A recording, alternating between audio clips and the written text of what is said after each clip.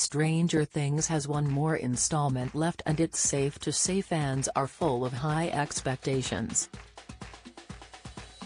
Hinting time shifts and nostalgic returns, it seems the gang could be going back to an iconic location from the very first season. With the final run tipped to be similar to the premiere episodes, fans have started to put two and two together to come up with the Ives house.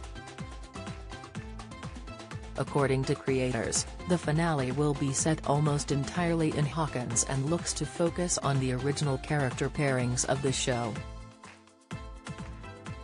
The Upside Down won't be completely neglected, however, as there is still a battle to be won between the supernatural world and residents of the American town.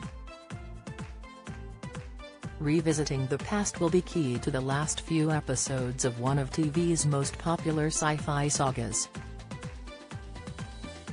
Viewers are first introduced to the Ives household via Terry, played by Aimee Mullins, in the very first season. Newspaper clippings revealed she had some connection to Dr. Brenner and his experiments.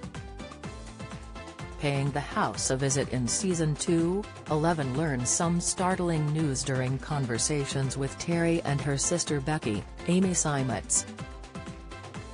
Eleven is let into the house after revealing her powers to Becky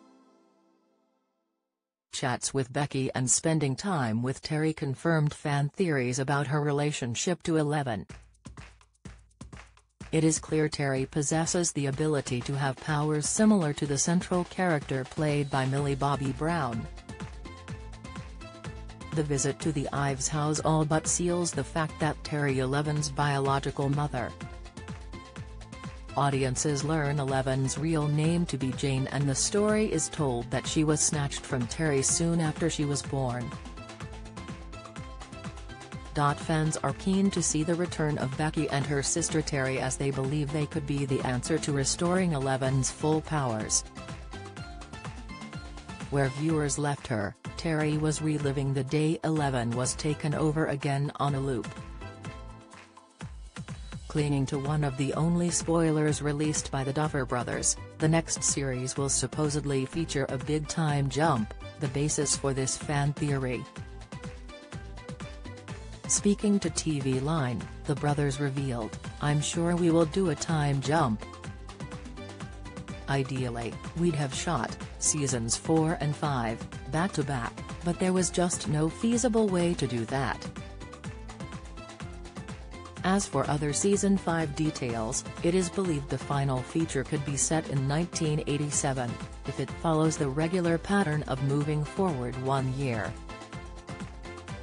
The Duffer Brothers and showrunners are remaining tight-lipped but they have confirmed the show will get a worthy, satisfying ending. Watch Stranger Things Seasons 1 to 4 on Netflix.